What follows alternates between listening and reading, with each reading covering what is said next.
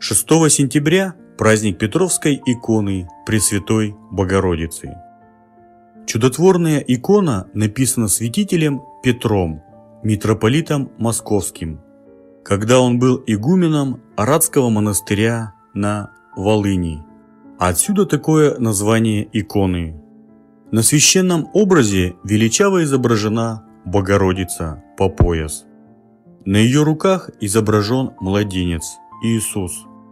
Божья Матерь с Богомладенцем нарисованы в зеркальном отражении, что делает святыню уникальной и отличает ее от Владимирской. На Петровской иконе Богоматерь обнимает младенца Иисуса левой рукой, а другой рукой указывает на него, показывая, что он истинный Спаситель. Петровская икона – это символ возрождения. Она исцелила и помогла многим православным людям.